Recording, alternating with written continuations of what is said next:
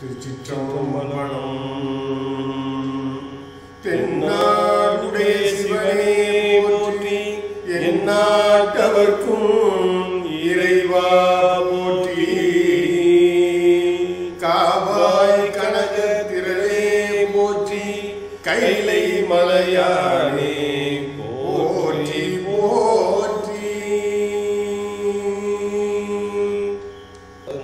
திருமுறை திருஞான சம்பந்தர் அருளிய முதல் திருமுறை சீர்காழியில் பாடப்பட்ட பாடல் வந்து நம்ம முன்ன முன்னதாகவே எல்லாம் மனப்பாடம் பண்ணி எல்லாரும் பாடிட்டோம். இப்போ அதை வந்து அந்த ரூபக தாளத்தோட எப்படி பாடுறது அப்படிங்கிறத வந்து நம்ம ஒவ்வொரு வார்த்தைகளுக்கு எப்படி தாளம் போடுறது அப்படிங்கிறது எல்லாமே நம்ம இந்த வகுப்பில் பயிற்சி பண்ண போகிறோம் சரியா? பயிற்சி ஐயா அம்மா வந்து சொல்லிக் கொடுப்பாங்க. எந்த இடத்துல உங்களுக்கு எல்லாருக்கும் நான் கொடுத்துருக்க அந்த ப்ரெசன்டேஷன் வந்து எல்லாருக்கும் தெரியுதா?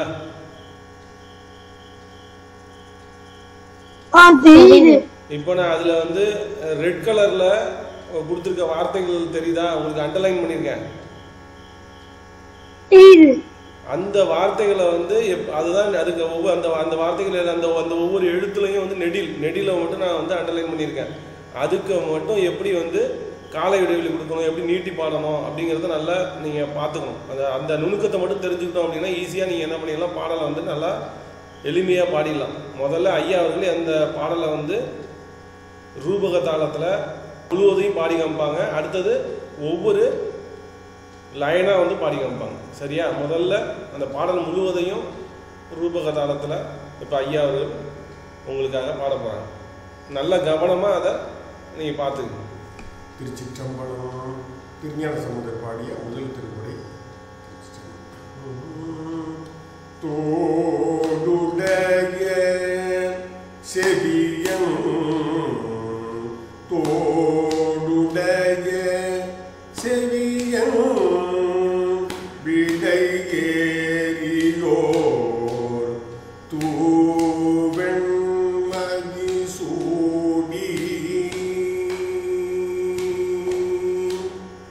காடுடைய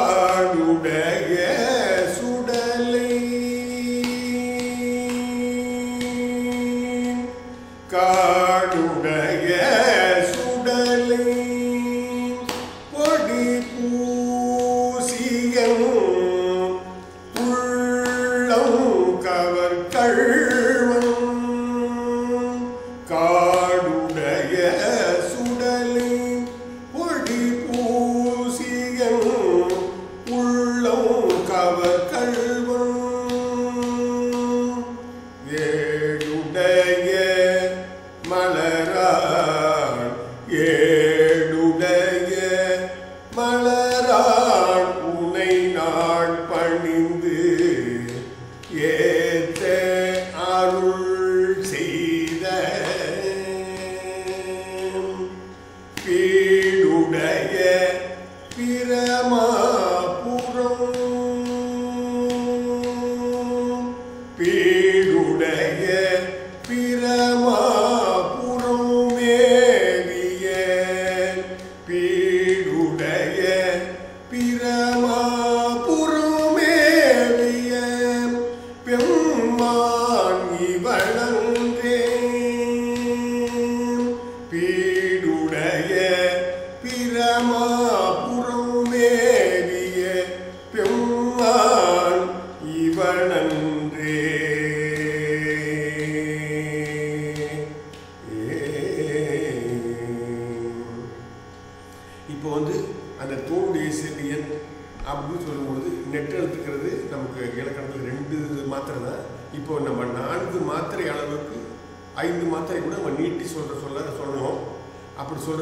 பண்ணுறது தான் இப்போ நம்ம பயிற்சி கொடுக்க போகிறோம் அந்த தோளுடைய அப்படி சொல்லும்பொழுது இந்த கையால் மூணு தட்டு நம்ம விழுந்தணும் நம்ம எவ்வளவு இழுத்தாலும் அந்த மூணு தட்டு இது அது என்ன பண்ணுவோம் நம்ம? அடிக்கடி நம்ம அந்த மூணு தாளத்தை போட்டு போட்டு பழகிறதுனால நீங்கள் எவ்வளோ கால அவசரம் எடுத்துறீங்களோ அந்த காலத்துக்கு தகுந்தாப்புல கை தானாகவே என்ன பண்ணும்? இந்த மூணு தாளத்தில் வந்து கரெக்டாக உட்காரும். ஒவ்வொரு நாளும் காலையிலையும் மாலையிலையும் சும்மா இருக்கிற நேரத்தில் மூணு ஒன்று ரெண்டு மூணு ஒன்று ரெண்டு மூணு அப்படி தட்டி தட்டி தட்டி பழக்கப்படுத்திட்டு வட்டிங்கன்னா இயல்பாகவே தானாக எப்படி நம்ம தூக்கி வைக்கிறோமோ அது போல தானாக நம்ம நீங்கள் வாயை திறந்த உடனே இந்த தாளம் அந்த மூணு தாளங்கள் தானாக வந்து விழுந்துடும் சொல்லுங்க செவியம்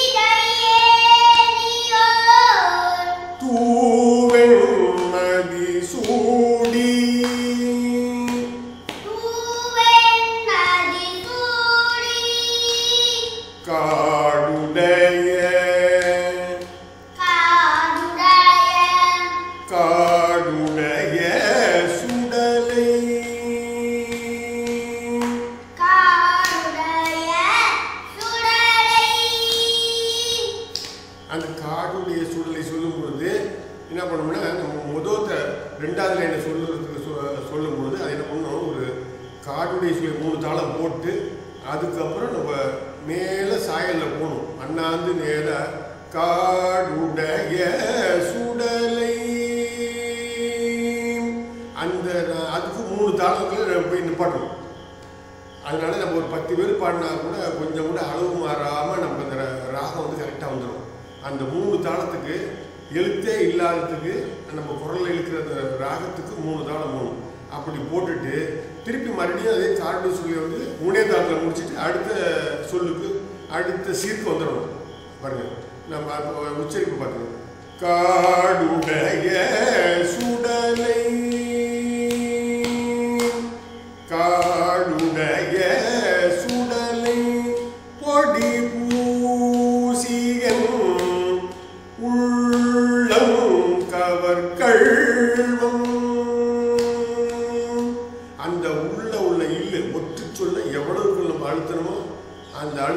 ராகத்தை உடம்புல அது நம்மளுடைய குரல் வந்து மேலே எம்பி மேலே போகும் மேக போகும். அது போல் கல்வன் வந்து சாதாரணத்தை விட கல்வன் கல்வன் கல்வன்.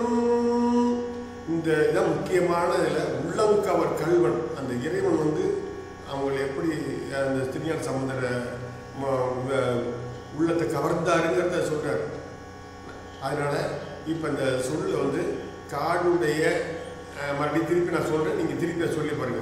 திருச்சிட்டோம் காடுடைய சுடலை.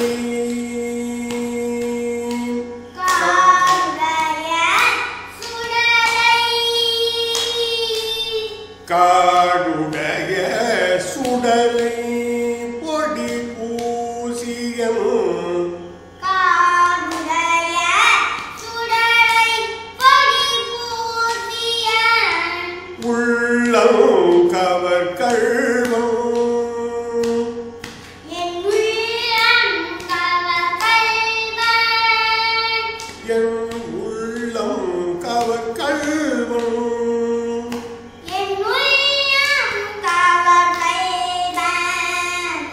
ஏடுடைய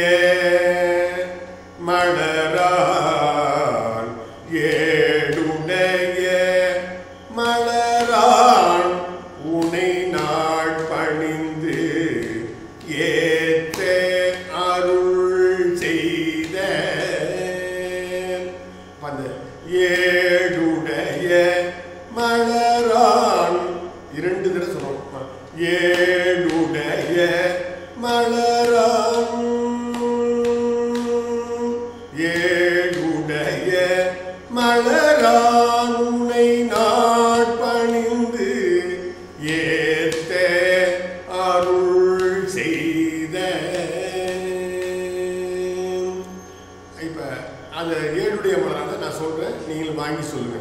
திருச்சிட்டோம் ஏழுடைய மலர்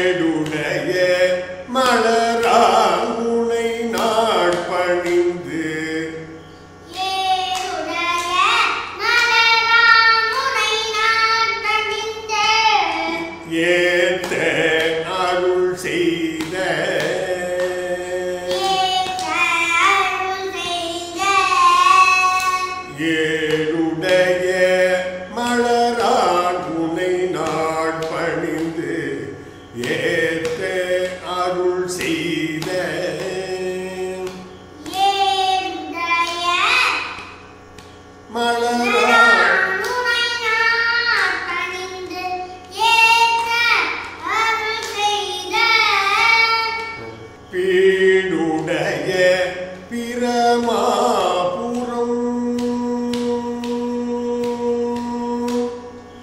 பீடுடைய பிரமாபுரம் மேலிய பெம்மான் இவனன்றே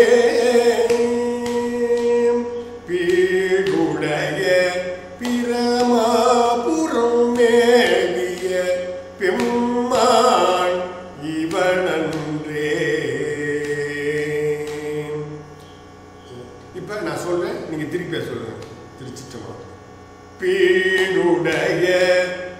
பிரமாபுரம்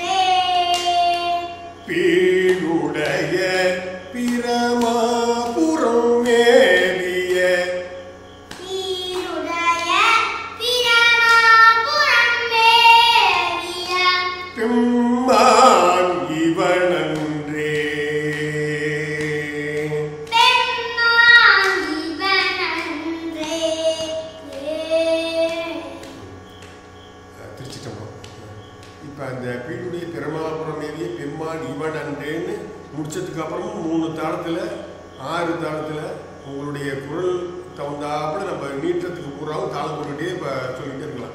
வாங்க அதை அப்படியே வாங்கி நீங்கள் உங்கள் ஊரில் பாடி பார்த்துங்க சரியா? திருச்சிற்றம்பலம் முழுமையாக பாடுவாங்க. தோடுடைய செவியம் தோடுடைய செவியம்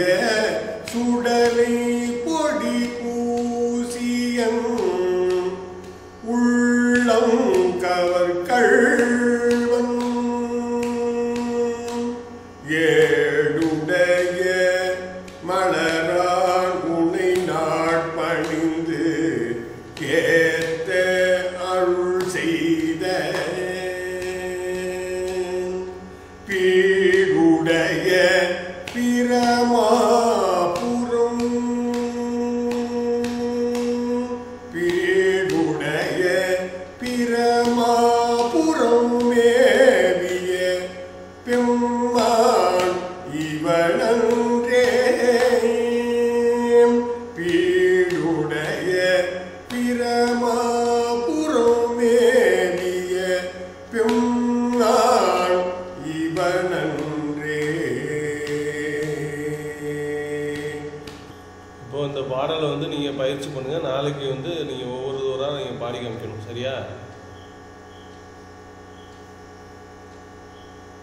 பாடலை எப்படி பாடுறதுன்னு இப்போ உங்களுக்கு புரியுதா?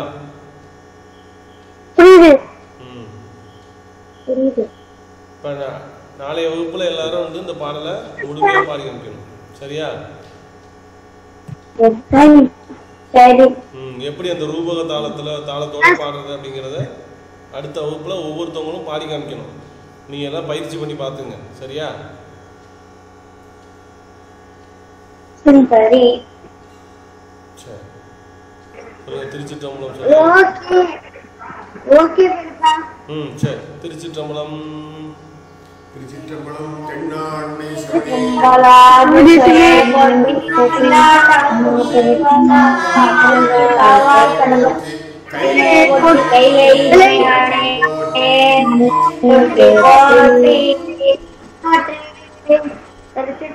சிற்றம்பலம் சிற்றம்பலம்